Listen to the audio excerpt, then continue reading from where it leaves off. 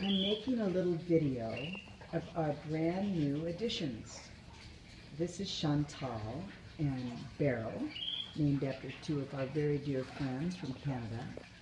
And this is the orange-breasted bunting.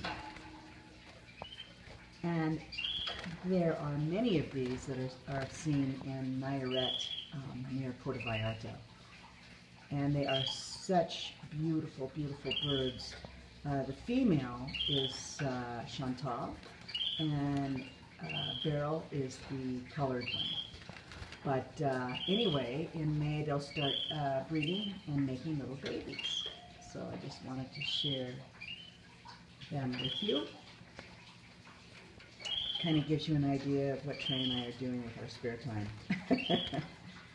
All right, so now we're going to go over here and we're going to take a look at Lucille and Ricardo, also known as Ricky and Lucy.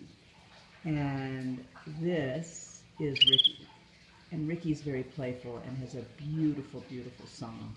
He, uh, he's really quite active and loves to sing. He might start singing now. It's kind of a little thing I do with him when he starts singing, but he's been singing all morning, he might be kind of tired. This, on the other hand, is Lucy. And Lucy is sitting on four eggs right now. She, uh, she should be giving birth any day now. So we're excited about that.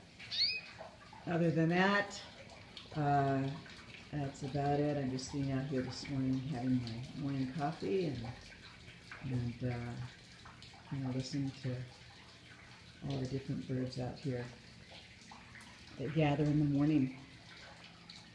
So that's it. Uh, I'll post this on Facebook and um, see what you guys have to say about this. All right? Okay.